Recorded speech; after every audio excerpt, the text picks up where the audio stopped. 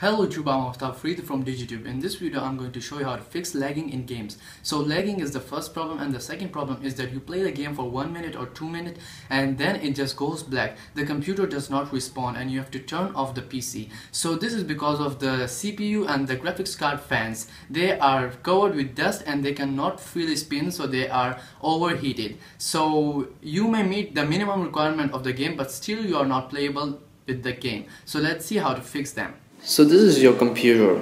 Uh, I mean this is my computer but this is your computer. Okay, so there must be screws at the back of the computer. Just remove it and your computer will look like this.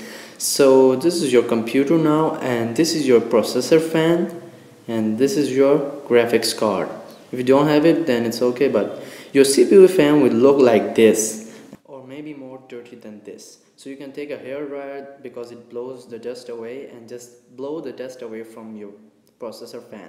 And this is the graphics card. So this is my graphics card. It has a black sheet or cover on it and has a space for the fan. So this cover can be removed by removing the screws at the bottom of the graphics card and then you will see the real dust in the graphics card. So if, when you remove it you will see this and you can clean it by the hair dryer. Just blow the dust from it. Now the PC will be better, not only in games but also looking clean physically. The games you used to play before and did not lag and then lagged, now it will not be lagging anymore. It will be running smooth. The games that requires higher requirements than your PC has will not run smooth and overheat your PC. But the games that your computer meets their requirement will just run smooth and save your PC from overheating. If this did not solve your problem, then you should apply thermal paste on the graphics card and the processor. If you don't know how to do that, just comment below and create a video for it. So this is the tutorial. If you like the video, give it a thumbs up and subscribe for more videos like this. Peace out.